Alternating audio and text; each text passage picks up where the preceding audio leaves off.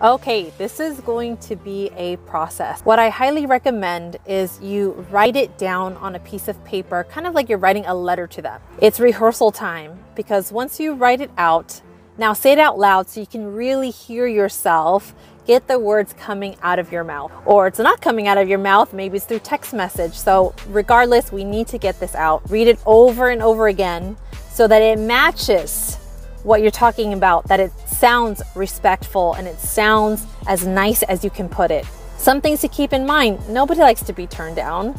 So keep that in your mind and put yourself in their shoes if you feel like it's the best type of message that you can give.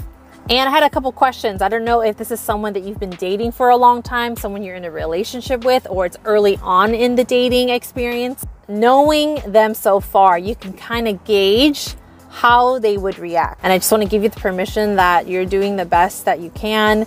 And through rehearsing and writing it over, saying it out loud to you over and over again, it will allow you to really process and adjust what needs to be adjusted.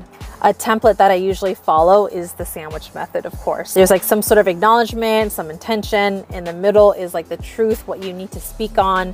And then you end it with as much kindness and respectfulness as much as possible. And there you go. Take a look at this as a growth exercise. There's going to be more experiences where you need to clear it up to someone.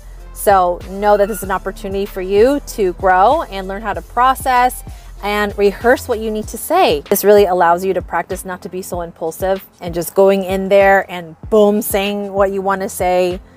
That's not respectful. That's not nice. That's not kind, right? This is definitely a character building exercise. Thank you for your question. Let me know if there's anything else that you want me to clarify on. And uh, yeah, stay tuned, everybody, for more.